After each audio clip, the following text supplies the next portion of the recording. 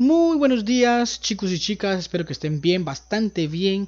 Hoy tendremos, les comento ya nuestro último tema del curso de computación. Estamos finalizando este cuarto bimestre ya cerrando con broche de oro y pues quiero felicitar a cada uno de ustedes que con esfuerzo y dedicación pues lograron eh, terminar este ciclo escolar. Sé que a muchos les ha costado trabajar en línea, realizar tareas desde casa cuando estábamos acostumbrados a llegar al colegio temprano con sueño, trabajar, realizar las tareas ahí mismo y algunas en las casas, pero lastimosamente por esta enfermedad que hoy en día pues atraviesa nuestro país o el mundo entero, pues se vio la dificultad de reunirnos a cada uno de nosotros en nuestros respectivos salones.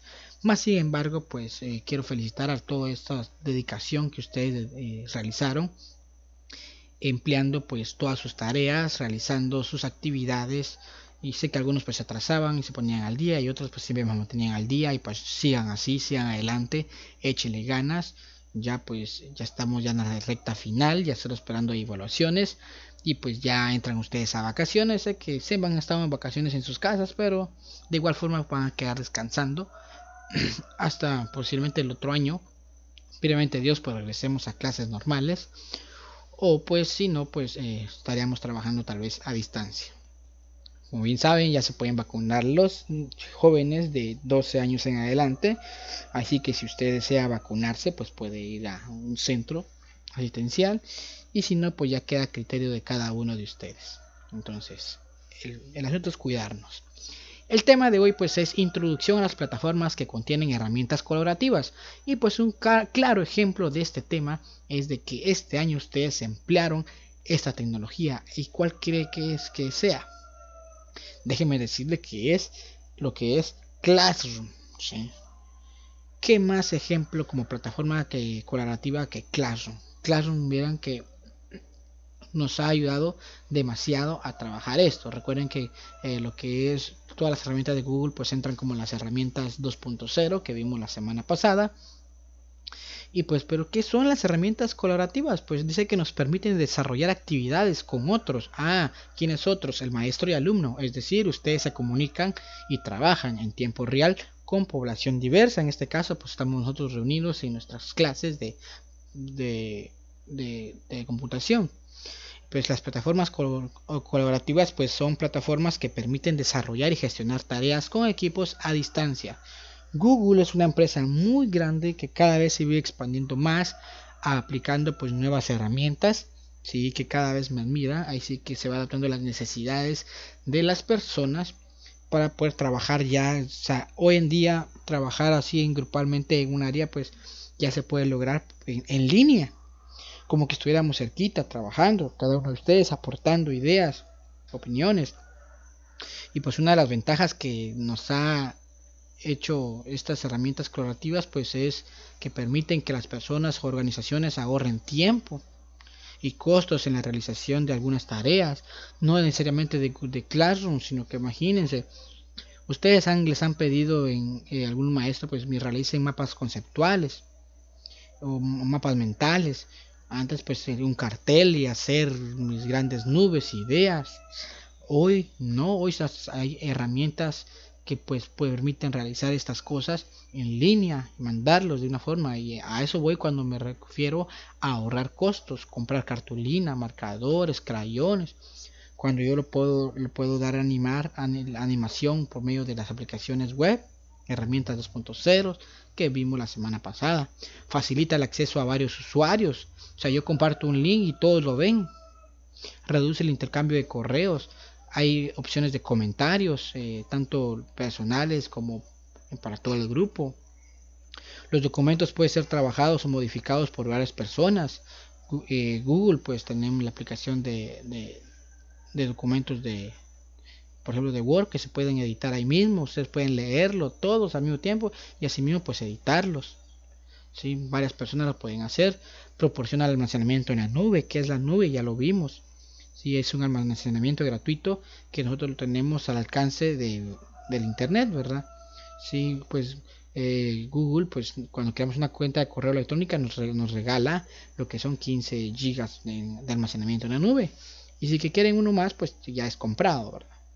Entonces, hoy en día, pues, ¿qué más el uso de esta herramienta que, pues, ahorita por esta educación a distancia, pues, fue Google?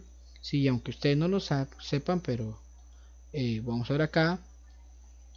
Google, eh, en lo que va del año, pues, implementó todas esas aplicaciones. Aparte del correo electrónico, tenemos lo que es el Drive, nuestra nube, documentos para trabajar colaborativamente, o sea, lo podemos trabajar todos, documentos de cálculo, presentaciones, tenemos uso de nuestro calendario, un chat, eh, video conferencias con, por medio de Meet, formularios para realizar evaluaciones, encuestas y mucho, CITES que es para crear sitios web, ¿sí? Si ustedes quieren hacer una su página web de juegos o, cosas así como que les guste, pues se las recomiendo, muy fácil de usar, autodidáctica, ¿sí? No necesita tanto conocimiento. Eh, esto pues lo vamos a realizar de acá eh, cuando ustedes están en tercero básico, vamos a aprender a realizar nuestras páginas web o blogs, contactos con nuestros, agenda telefónica, por grupos, pues YouTube como una plataforma de, de videos, pues noticias, nuestro Google Fotos, Hangout para chatear, eh, Google Keep y lo que es el Jamboard, una pizarra, pizarra que podemos compartir nosotros. Imaginemos que estuviéramos en nuestros en, nuestras aulas y pues por Jamboard acá ustedes pueden escribir, yo puedo escribir, comparto esto y ustedes pues pueden hacer uso de esto. Tenemos nuestro Google Earth para ver para ver nuestro planeta desde arriba eh, Postcat también y viajes, Classroom y CloudPrint, ¿sí? Por ejemplo aquí en Jamboard algo, pues esta herramienta pues se incorporó hace poquito, no hace mucho. Esto pues es muy usado por los docentes, por ejemplo yo acá de, le doy una nueva Jamboard o un nuevo, una nueva pizarra en donde yo les comparto lo que es el, el link y ustedes pues pueden tener acceso a mi pizarra, ¿sí? pueden tener acceso a mi pizarra y así mismo también editarlo. Así como que ustedes estuvieran acá pueden agarrar su lápiz. Ya. Pueden agarrar su lápiz y, y realizar muchas acciones como desde agregar notas por ejemplo notas por ejemplo hola ustedes pueden dejar sus notas ahí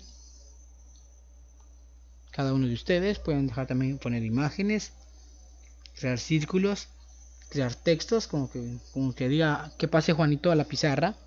Si ustedes también pueden editar acá, todos lo están viendo y muy bonito, la verdad que cómo es que la tecnología se va adaptando día con día con la necesidad del ser humano. Sí, y esto pues fue por, por lo mismo lo que todo lo que pasó, ¿verdad? De trabajar a distancia, esta educación híbrida, pero que gracias a Dios pues se ha ido implementando día con día. Y pues qué bonito, qué bonito la verdad que este año pues vimos muchas cosas, muchas cosas nuevas, entre otras, ¿sí? Entonces, eh, estas son las herramientas o plataformas eh, que contienen herramientas colaborativas, ¿sí? Tiene sus ventajas, tiene mucha ventaja. La desventaja pues podría ser que sería el internet, ¿verdad? A nuestra, hasta nuestro hoy en día pues no todos contamos con la ese gozo de tener una línea telefónica con internet residencial, ¿verdad? Hay quienes que con sus tarjetas de internet pues gastan, compran datos día con día y pues todo es una inversión. Otros pues tal vez tienen problemas de recepción de señal telefónica, que no les llega buena señal por la misma circunstancia de que viven muy retirados. ¿sí? Entonces eh, esto pues influye mucho a las personas que quieran trabajar con esto, pues simplemente se les va a dificultar por la misma razón de que todas esas herramientas, pues como están eh, inspirados en la web, pues necesitamos una buena señal eh, de internet, ¿verdad? Y como ejercicio, ya para cerrar con broche de oro, tenemos un ejercicio número 6, dice, escriba 5 desventajas del uso de las plataformas colaborativas. 5 desventajas. Aquí están. Y también tenemos nuestro parcial que tiene un valor de 3 puntos, no solamente esto, recuerden el parcial y pues dice escribe cinco plataformas colaborativas y realice un mapa conceptual donde explique la definición y para qué nos sirve. La semana pasada yo por medio de una página web realicé un mapa conceptual. Si tienen computadora y tienen acceso a la internet, pueden realizar un mapa conceptual utilizando eh, esa herramienta colaborativa. Si no tienen computadora, solo su teléfono, pues se les dificulta trabajarlo ahí, pues háganlo a mano. Recuerden que ustedes ya saben que es un mapa conceptual, yo creo que han trabajado mucho esto y van a investigar cinco plataformas colaborativas. Por ejemplo, yo quiero acá pues investigarlo, pues solo vienen ustedes y escriben en Google eh, plataformas eh, colaborativas. Y vemos pues aquí pues nos tendría que dar eh, diferentes tipos de plataformas colaborativas.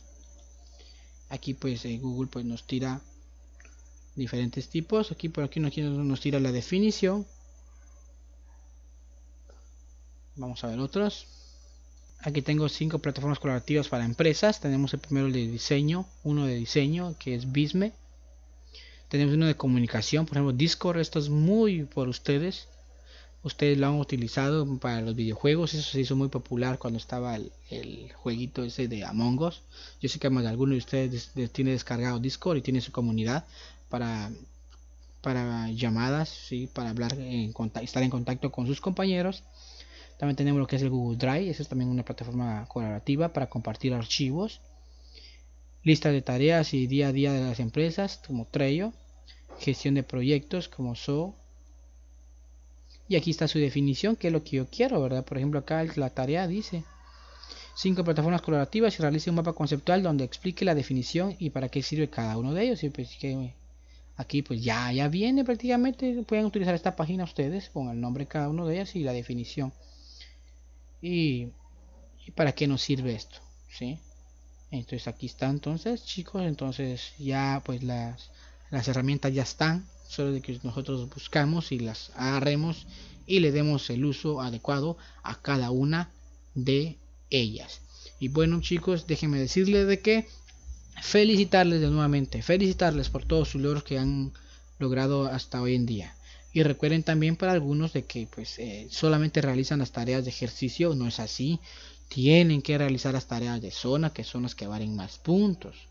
No descuiden las tareas de zona porque entonces se van a ver reflejados sus notas a fin de este bimestre. Entonces ponga la importancia a la tarea de zona. Si ustedes todavía no lo han hecho, pues háganlo y súbanlo de nuevo, aclaro para que así puedan tener y gozar de esos 30 puntos que es lo que vale esta unidad si tienen duda pues vean acá en la última hoja de su folleto pues está se ve bien cómo está distribuido cada una de las tareas que les he asignado hasta hoy hasta la fecha.